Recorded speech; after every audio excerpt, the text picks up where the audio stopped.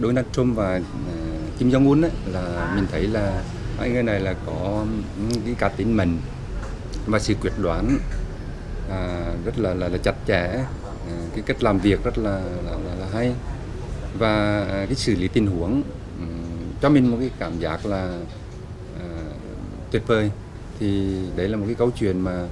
giữa Trung và Kim Jong Un là mình rất là trân trọng và ngưỡng mộ tài năng nghĩa là à, mong muốn của mình thì à, đối với